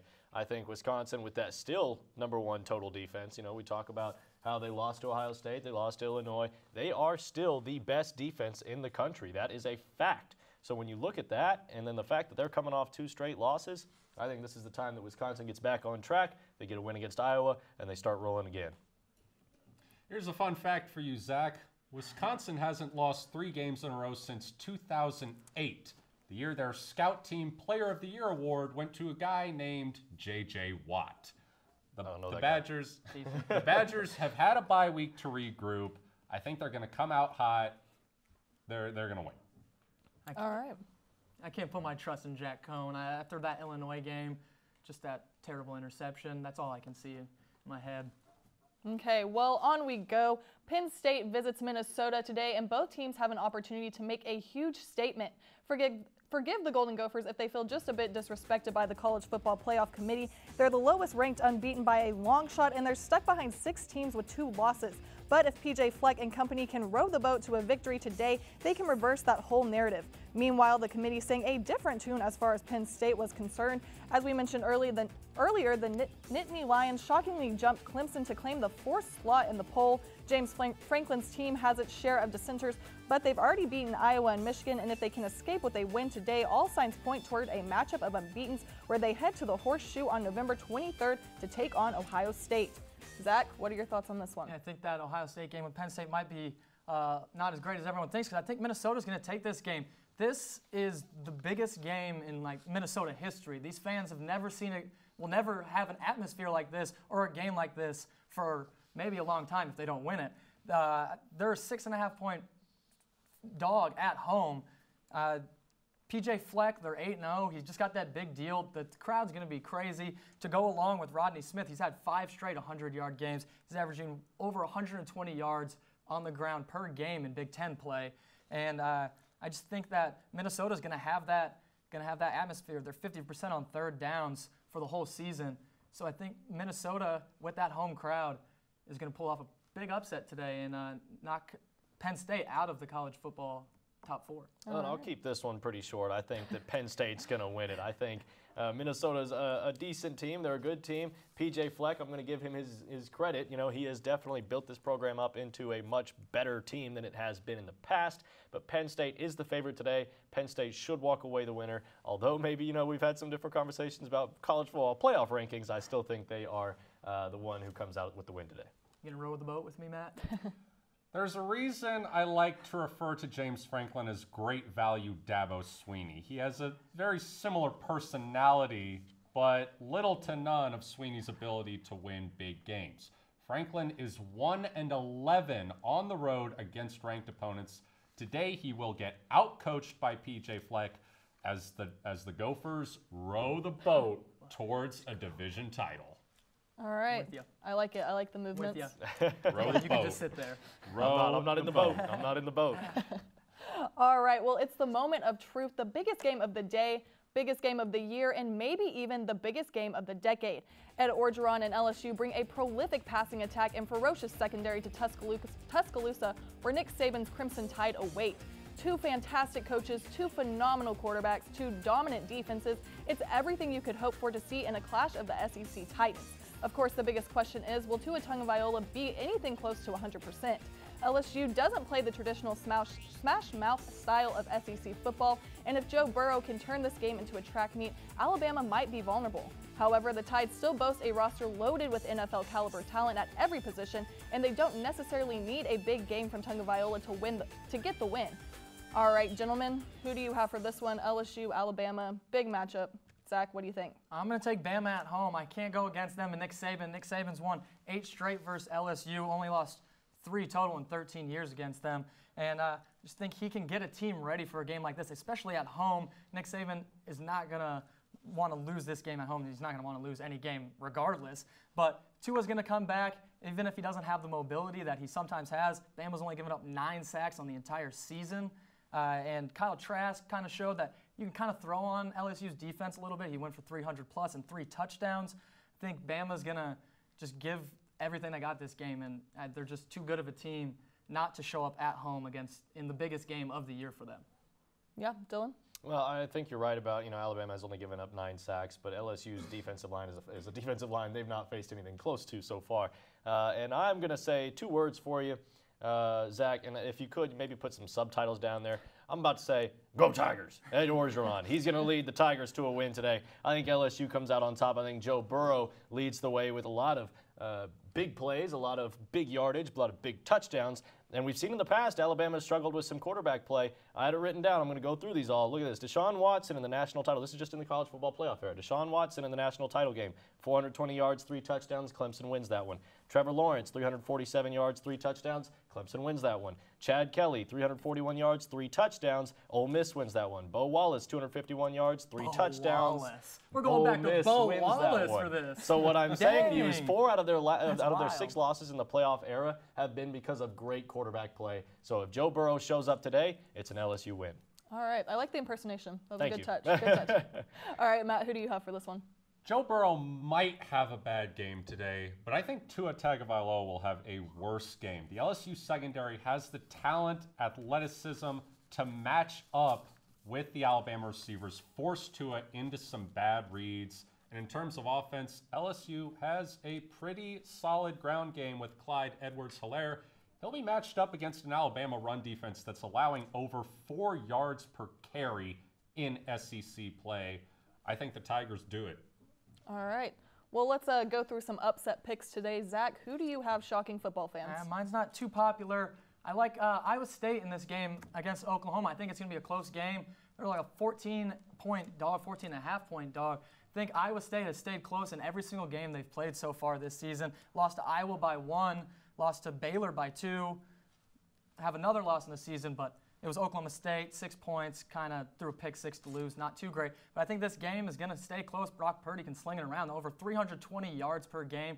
And Oklahoma doesn't have that great of a defense, if you haven't heard. So I think Iowa State can keep this game close, and it'll be tight heading late into the fourth quarter. Oh, that's a hot take. I'm not too happy with your pick, Sometimes but uh, you gotta throw one out there. yeah, I guess you got to do it. All right, Dylan, who do you have? Well, I'm going to kind of throw one out there too. I've been off on every single one of my upset picks so far this year, so I'm swinging for the fences and I'm saying TCU over Baylor. The four and four Horned Frogs take it to the undefeated Baylor Bears.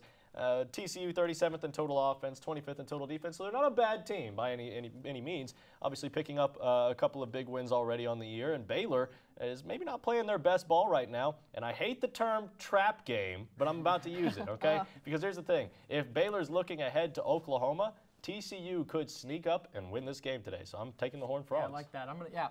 Mine's a trap game too. That's why I did it. That's why I did it. All right, Matt. I'm taking Duke over Notre Dame. Notre Dame's offense has struggled. They've put up just 35 points in their past two games. The Blue Devils have an above average pass defense. If Ian Book can't get going and continues to struggle like he has recently, Notre Dame's in trouble.